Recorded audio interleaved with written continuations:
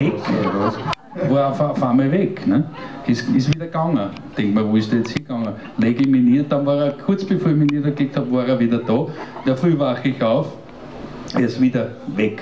Also liegt nicht im Bett. Ich schaue auf, er schaut ins Musikzimmer. Bis ich dann ins Badezimmer gegangen bin, da ist der Michael Klammer mit einer Unterhose bekleidet auf meinem Badezimmerteppich gelegen, wie in embryonaler Stellung. Und sein ganzes Gewand hat er in die Badewanne gelegt und gewaschen. Das war nass.